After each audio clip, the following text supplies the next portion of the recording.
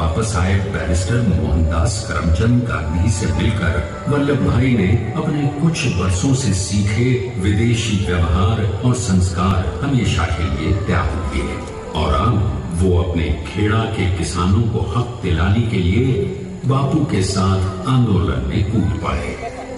अब उनके पैरों में जूते नहीं, गाँवों की धूल थी।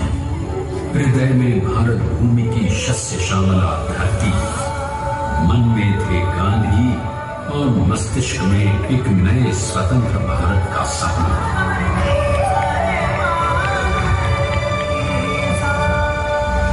तभी बारडोली के मजबूर मजलूम किसानों की यातना का समाचार उनके पास पहुँचा। तुरंत वल्लभ भाई वहाँ पहुँचे और यूँ शुरू हुआ भारत का सबसे बड़ा और सफल किसान आंदोलन बारडोली। वल्लभ भाई ने बारडोली के सत्तासी हज़ार किसानों को ऐसा अटल, अडिग, अचल मनोबल दिया कि अंग्रेज़ी सरकार हिल गई और एक बरस के बाद उनका लगान माफ़ कर दिया गया। अब तो पूरे देश में लोग वल्लभ भाई के नाम की तस्वीर खाने लगे। स्वयं महात्मा गांधी ने कहा, अब वल्लभ भाई मेरे शिष्य या साथी नहीं, सारे देश के सरदार हैं। और देश को मिल गया एक अनोखा असरदार सरदार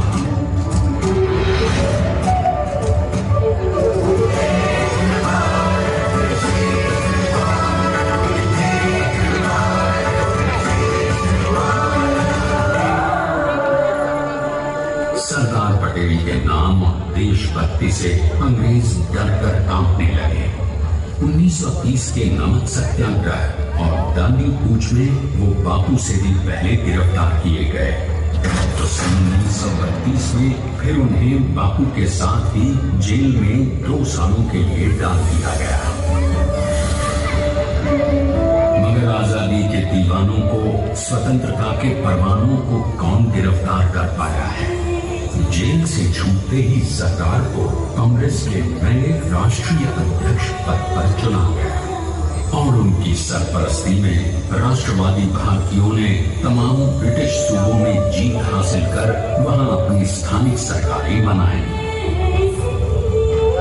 किंतु सरदार का सपना केवल सरकार बनाना नहीं था। उनका स्वप्न तो था एक ऐसे नए भारत का जहाँ हर रंग, हर रूप, हर जात, मज़हब, तबके का हिंदुस्तानी एक साथ मिलकर एक ऐसा नया भारत बना सके, जहाँ पूर्ण स्वराज्य के साथ सारे समाज को गरीबी, अशिक्षा, छुआछूत से भी आज़ादी मिल जाए।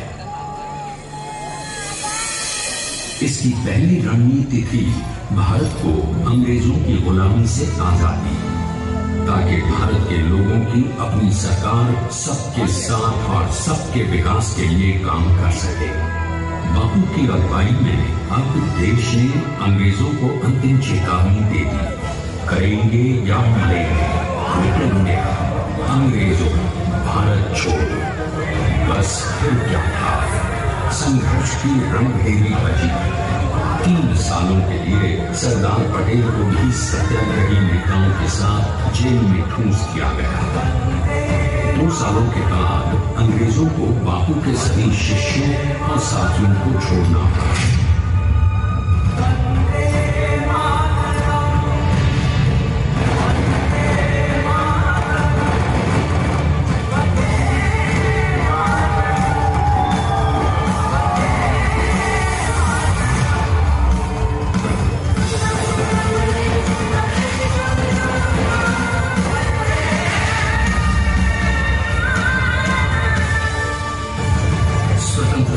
स्वप्न के सच होने के साथ अब सरकार पर कई एक नई जिम्मेदारियाँ थी आने वाली आज़ादी की तैयारी और एक नए भारत के लिए नए लोकतांत्रिक संविधान की संरचना।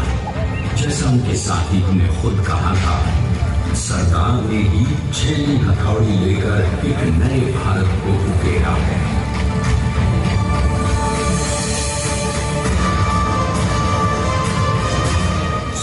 मान्यता तो प्राप्त हुई लेकिन खंडित भारत में भी उठते विभाजनवादी अंधकार को अभी दूर करना था। जब देश के खंड खंड होने का भय उत्पन्न होने लगा तो सरकार ने निर्भय होकर खुद अपनी केंद्र सरकार और साथियों को भी चुनौती दे डाली। और जम्मू कश्मीर को बचाने के लिए सारे देश का आकाश वायुयानों से भर गया।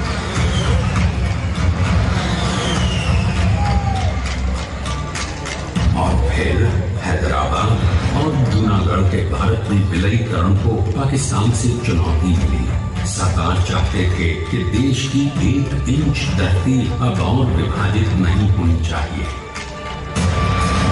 नए भारत को एक करने के लिए समझा बुझाकर कर पाँच सौ पैंसठ रियासतों को सरदार ने अपनी सूझबूझ सदाशयता संबल से एक नए स्वतंत्र भारत का अभिन्न अंग बना लिया।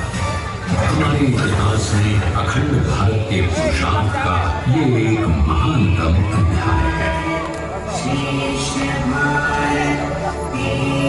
जैसा उन्होंने स्वयं कहा था, हमें नए धागों को पुराने ताने बाने में ऐसे पिरोना है एक दूसरे में घुल जाए और बेहतरीन बनावट वाला एक नया भारत उभर कर सामने आ सके।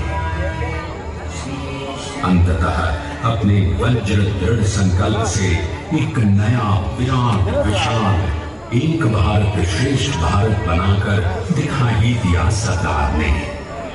संसार के सबसे बड़े प्रजातंत्र के शिल्पी को प्रणाम करने के लिए देश ने बनाया है ये समर्थ स्मारक। स्वाधीन भारत को समर्थ भारत में बदलने वाले सरदार पटेल को समर्पित प्रेरणा दीप भी है।